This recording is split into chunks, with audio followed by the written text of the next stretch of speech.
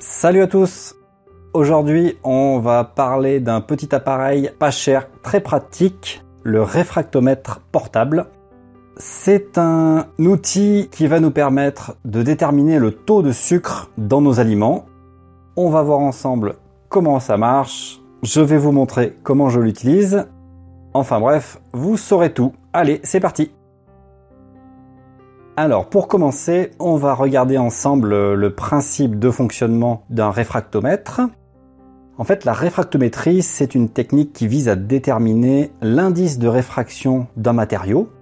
Donc vous l'avez à l'image, on va mettre un prisme qui est en bleu. Ensuite, on va mettre une solution qui est en jaune.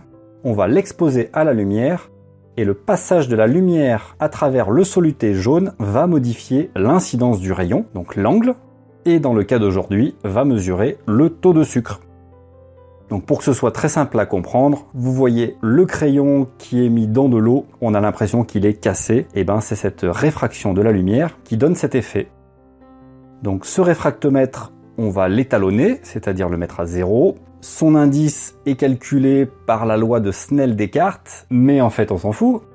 Et c'est le fabricant Brix qui a introduit le degré Brix qu'on va lire sur l'étalomètre et il faut comprendre qu'à 20 degrés, 1 degré Brix va être égal à 1%, dans notre cas 1% de sucre dans la solution. Alors, on va regarder ensemble le contexte d'utilisation. En fait, le réfractomètre est très utilisé pour déterminer la teneur en sucre. Vous pouvez aussi bien tester du jus de fruits que le jus d'un légume ou d'un fruit que vous aurez pressé. C'est très employé en viticulture pour tester la quantité de sucre dans le jus de raisin. Pourquoi? Parce que quand on va connaître ce degré de sucre, on va pouvoir convertir directement cela en degré d'alcool après la fermentation totale. Donc les viticulteurs prennent leur réfractomètre, vont dans les vignes, testent le raisin et vont déterminer le bon moment pour les vendanges. On va aussi pouvoir l'utiliser pour du mou de bière. Donc ceux qui fabriquent de la bière vont aussi pouvoir s'en servir. Et en fait, il existe des réfractomètres pour tout un tas de choses, pour tester la salinité de l'eau, la température de protection des installations de chauffage, des liquides de batterie, des liquides frigorifiques. C'est vraiment un appareil qui est très utilisé. Celui que vous allez voir dans cette vidéo, c'est le réfractomètre Brix. Alors, ce qui est important de noter, c'est la plage de mesure. Donc, prenez-en un bien qui va de 0 à 32 et pas de 0 à 100 donc en gros de 0% de sucre à 32% de sucre. Sinon, si vous prenez de 0 à 100, vous n'aurez pas une bonne précision à la lecture. C'est pas très cher, vous voyez, j'ai payé ça 24 euros, et ça fait quelques centaines de grammes pour une quinzaine de centimètres. Donc très léger, très pratique. Alors, quand vous le réceptionnez, vous avez une petite boîte qui contient le réfractomètre, la notice d'emploi, la pipette, on va voir tout ça. Donc vous voyez l'échelle hein, avec ma main, c'est vraiment assez petit. Donc ça c'est bien pratique. Alors vous le déballez. On va avoir à gauche la zone où on va mettre les gouttes, au milieu un bouton pour calibrer et à droite il y aura l'oculaire pour regarder. On va soulever le petit clapet, mettre le liquide, calibrer avec le bouton et ensuite on regardera tout ça via l'oculaire en exposant le liquide à la lumière on pourra ajuster le focus en tournant l'oculaire. Vous avez à l'intérieur un espèce de petit tournevis, j'ai pas compris à quoi ça servait. Vous avez la petite lingette pour nettoyer la surface, donc il ne faut pas que ce soit agressif évidemment, donc ça sera de l'eau et de la petite lingette. Et vous avez la notice d'utilisation, vous verrez, c'est assez simple, ça fait 2-3 pages, il n'y a pas grand chose à savoir, c'est donc très pratique. Plus la pipette qui va nous servir éventuellement à récupérer du liquide pour ensuite le mettre sur la surface exposée à la lumière. Alors, comment on va étalonner le réfractomètre? Je vais donc ouvrir le petit clapet, récupérer de l'eau. Normalement, il faut mettre de l'eau distillée. Honnêtement, je pense qu'avec de l'eau du robinet, ça se passe très bien. Vous mettez 3-4 gouttes. Le but du jeu, c'est que une fois que vous refermez le clapet, il faut que toute la surface soit recouverte.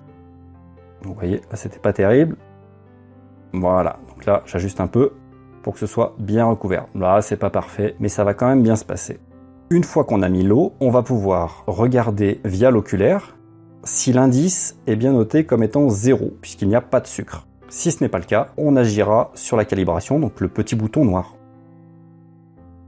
Alors, j'ai essayé avec mon téléphone de filmer ce qu'on voit à travers l'oculaire, donc vous m'excuserez pour la netteté. On voit ça plutôt bien, vous voyez l'échelle de Brix en pourcentage, et là effectivement on a 0% de taux de sucre, c'est bien calibré. Une fois que votre appareil est calibré, vous allez pouvoir tester ben, ce que vous voulez. Donc là j'ai pris du jus de fruits pour tester ça, bio évidemment, hein. on rigole pas avec ces choses là. On va le verser, prendre la pipette prendre quelques gouttes. Hop, voilà. Là, je suis pas encore un champion de la pipette, mais je vais m'améliorer. On va placer les gouttelettes sur la surface pour qu'en refermant le clapet, tout soit bien recouvert. Voilà, on va charger un peu. Si ça goûte, c'est pas très grave, on essuiera. Mais il faut que ce soit tout noir. Voilà, c'est pas mal. Et ensuite, eh ben rebelote, on va exposer ça à la lumière et regarder dans l'oculaire. Bon, on y retourne sur les images un petit peu floues, mais je pense qu'on va réussir à voir. Le taux de sucre de notre jus de fruits est en gros de 13%. Donc c'est vraiment très pratique. Vous voyez la limite entre ce qui est blanc et ce qui est bleu. Bon là évidemment, je galère un peu avec le téléphone, mais je vous garantis qu'à l'œil, on voit vraiment ça très bien. Donc c'est instantané et on peut pas se tromper. J'ai fait ensuite un test avec euh, des tomates, donc je ne vais pas vous refaire toute la cinématique. On est début mai, c'est pourtant des tomates bio, et on les trouve un peu fadasses, et ben devinez quoi? Quand on fait le test avec le réfractomètre, on tombe sur 6% de sucre et je vous fais le pari que ça ne sera plus le cas quand on sera plein août. Bon, et ben voilà, je crois que vous savez tous sur le réfractomètre, ou presque. En tout cas, ce qui est sûr, c'est que c'est vraiment un appareil qui est très pratique. Il n'y a pas besoin de pile, il est léger, il est pas cher et il est facile d'utilisation si vous allez sur le terrain. Deuxième point à savoir, si on n'a pas de pipette, c'est pas très grave. Soit vous mettez le liquide directement sans en mettre de partout, soit vous utilisez une cuillère à soupe propre, soit une seringue. Donc si jamais vous égarez la pipette ou que vous ne l'avez pas sous la main, vous pourrez faire vos tests. Alors petite précision, de temps en temps, on en met trop. Quand on baisse le clapet, ça dégueule un peu sur les côtés. Essayez de ne pas le rincer directement sous l'eau, pas franchement étanche à mon avis. Donc nettoyez-le plutôt avec un chiffon imbibé, éventuellement quelques gouttes, mais pas directement sous le robinet. Et enfin pour finir, si la surface de votre réfractomètre devient un peu grasse ou un peu collante, eh ben n'hésitez pas à mettre un petit peu de liquide vaisselle sur un tissu imbibé d'eau, de frotter un petit peu, de rincer et ça se nettoie très facilement. Bon ben voilà, on arrive à la fin de cette vidéo. Cette fois-ci, vous savez tout. Si vous avez des questions, n'hésitez pas à les poster en commentaire, je me ferai un plaisir d'y répondre. Et sur ce, je vous souhaite une bonne continuation à tous et à bientôt. Ciao